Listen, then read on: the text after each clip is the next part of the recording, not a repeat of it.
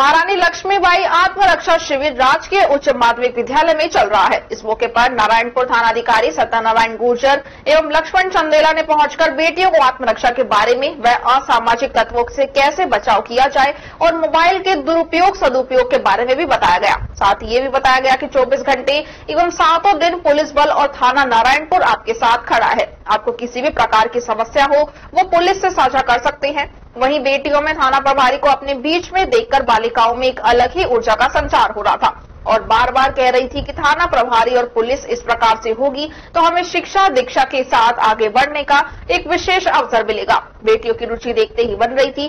थानाधिकारी से एक बेटी ने कहा कि मैं भी आपकी तरह पुलिस में जाना चाहती हूँ। थाना प्रभारी ने बहुत ही सामंजस्यपूर्ण तरीके से सरल भाषा में बेटियों को समझाया कि किस प्रकार से पुलिस सेवा में और अन्य सेवाओं में आगे जाया जा सकता है। इस दौरान संजय शर्मा एवं स्टाफ ने थाना प्रभारी का साफ़ और माला पहना करके स्वागत किया। इस दौरान थाना प्रभारी ने विद्यालय स्टाफ को कहा कि कभी समय मिले तो बालक और बालिकाओं को थाने की विज़िट करवाएँ, जिससे किस प्रकार से पुलिस समाज के लिए अच्छा कार्य करती है क्या क्या गतिविधियाँ होती हैं, इसके बारे में और भी जानकारी प्राप्त होगी और मेहनत ही सफलता की कुंजी है। थाना प्रभारी ने बताया कि हमें आप सबका सहयोग चाहिए। इसी प्रकार से अपराधियों में डर पैदा होगा। अपराध को छिपाएँ नहीं, बताएँ। हेलमेट का प्रयोग करें, बिना लाइसेंस गाड़ी नहीं चलाएँ। साइबर क्राइम की कोई भी घटना घटती है तो हमें तुरंत सूचना दें। इसमें अपन सबको मिलकर के जागरूकता लानी है। इसी के बारे में संदेश दे रहा हूँ कि मोबाइल में जितना ये इसका प्रचलन बढ़ा है, जितना इसका सदुपयोग हो रहा है, उतना ही उसका दुरुपयोग भी हो रहा है। इसके लिए अपने को सभी को जागरूक रह करके और मोबाइल की गतिविधि बच्चों के बारे में उनको समझाना पड़ेगा कि इसका क्या सदुपयोग है, क्या दुरुपयोग है। सर, मैं देख पा रहा था, एक बहुत अच्छा नवाचार प्रिंसिपल के माध्यम से, आपके माध्यम से हुआ।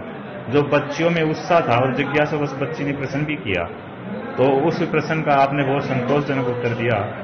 तो हो सकता है कि आपने सौ नंबर के बारे में बताया, महिला हेल्पलाइन के बारे में बताया, साइबर क्राइम के बारे में बताया, और जो मोबाइल से अपराध घटित हो रहे हैं उसके बारे में बताया।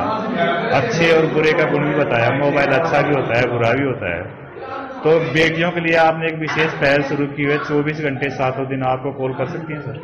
बिल्कुल, हम चौबीस घंटे सेवा में हाजिर रहते हैं। कभी भी एनी टाइम और मैंने प्रिंसिपल साहब के माध्यम से मैंने समय समय पर आने के लिए कहा है और हमारी तरफ़ से जो विभाग की तरफ़ से जो चला जा रहा है आत्मरक्षा शिक्षण उसके लिए भी मैंने कहा है और मैंने प्रिंसिपल साहब से निवेदन किया है कि एक दिन हमारे थाने पर आपके विद्यार्थियों का विज़िट करवाया जाए ताकि हम इनको बता सकें थाने की कार्यशैली क्या है और हम अपराधी के जड़ तक कैसे पहुँचते हैं।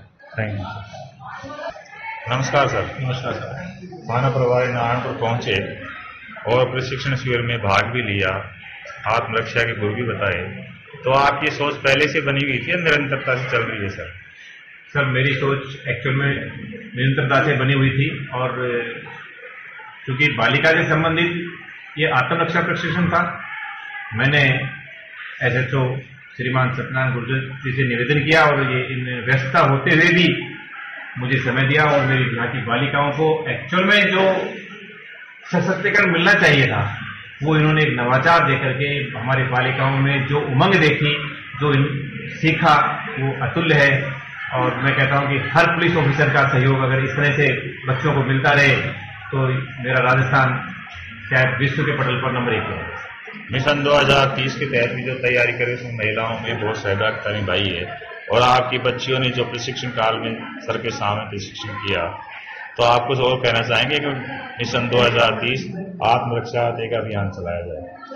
बिल्कुल सर जो मिशन 2030 मेरा राजस्थान कैसा होगा उसी के संदर्भ में एक नवाचार था और मैंने मेरी बालिकाओं ने आज ये महसूस किया मतलब पुलिस एक्चुअल में क्या होती है? उन्होंने आज एसएसओ साहब ने ये दिखा दिया हमारे बच्चियों को कि डरना नहीं है और बच्चों ने निसंकोच जो उनसे बातें की है जो शेयर किया है जो उन्होंने दिए वो अद्भुत बेमिसाल है। और हर पुलिस ऑफिसर को मैं तो ये कहता हूँ कि ऐसा नवाचार शिक्षा विभाग के साथ